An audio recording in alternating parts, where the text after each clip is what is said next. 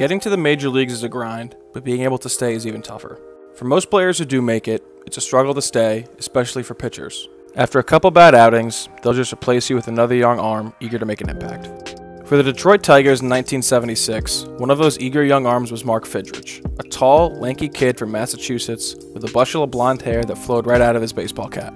Fidrych would make his first career start in May of 76 and soon take the entire world by storm.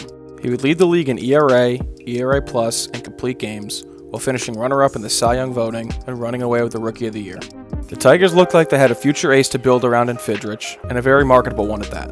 But he disappeared just as quickly as he burst onto the scene and was out of baseball by the time he was 28. This is the story of Mark Fidrych, baseball's biggest one year wonder.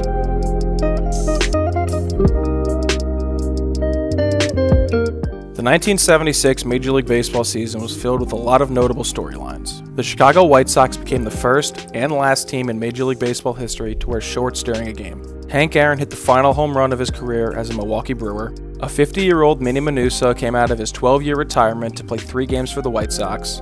Frank Robinson took the final at bat of his career, and an Italian third base coach named Tommy Lasorda would be named the manager of the Los Angeles Dodgers.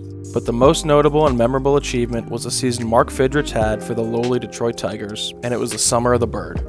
The Detroit Tigers originally took Fidrych with their 10th round selection in the 1974 draft out of his high school in Massachusetts, much to the confusion of Fidrych himself.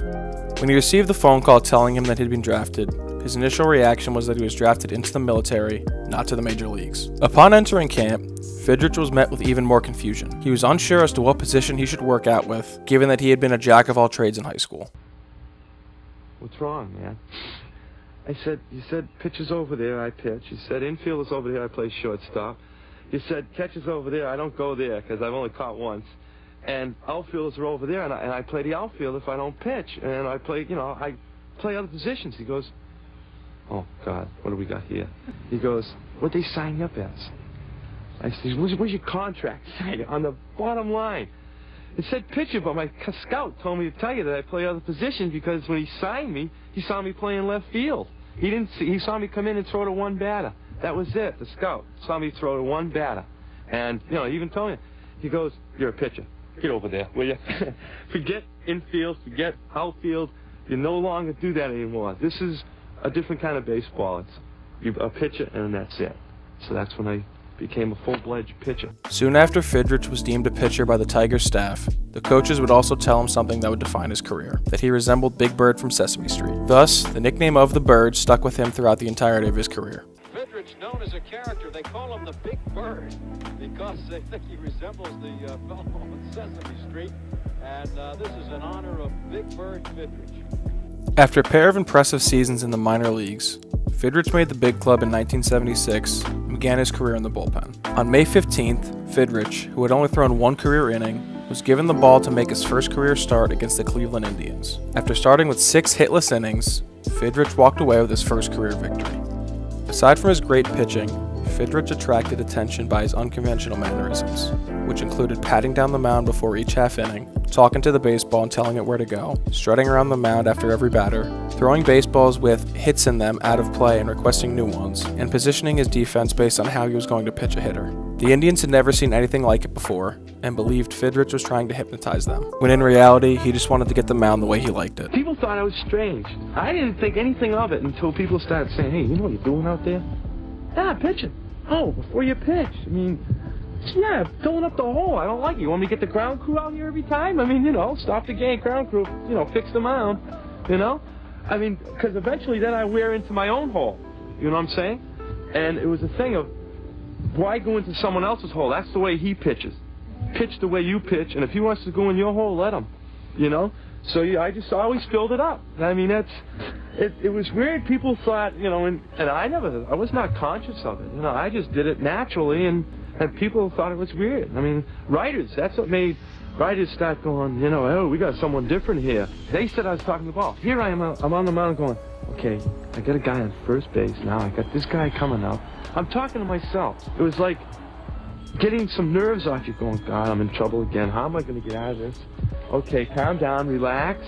And that's just what I do. Regardless, his antics on the mound worked for him, and it began a string of impressive starts from the 21 year old.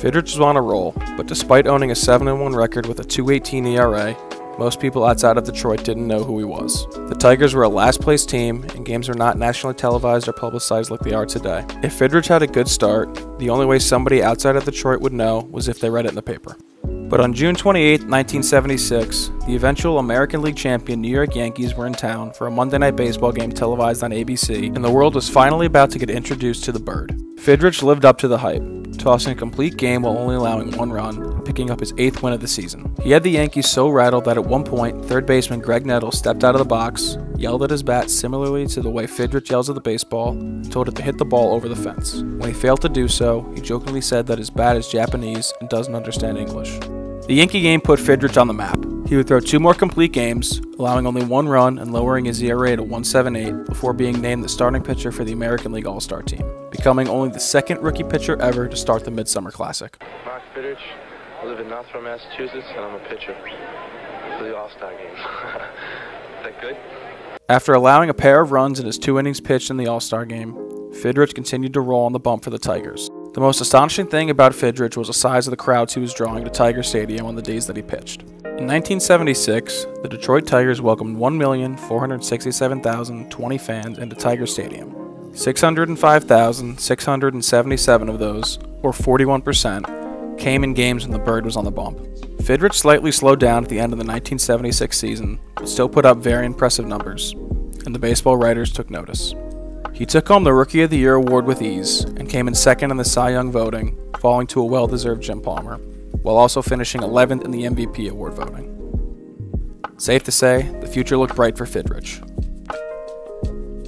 While preparing for the 1977 season, Fidrych injured his knee, which would keep him out until the end of May.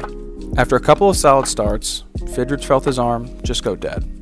This would be a torn rotator cuff that would not be diagnosed or repaired until 1985, eight years after his initial injury. Despite his arm and rotator cuff literally being torn, he would pitch two more games after his injury before going on the disabled list for the rest of the 1977 season. He would attempt to rehab and come back, but would only toss 81 more big league innings after the 77 season, and was released by the Tigers after 1981. He would sign a contract with his hometown Red Sox, but after just two disappointing seasons in the minors, the bird was out of baseball, almost as quickly as he arrived.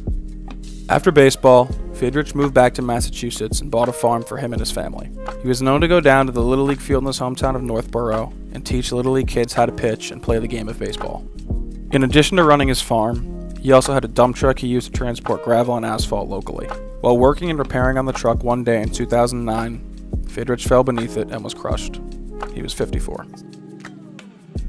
Mark Fidrych will always be remembered as one of the greatest characters the game of baseball has ever seen, and there won't be anyone like him for a long time. While his career was short lived, his impact on the game and the city of Detroit will live on forever.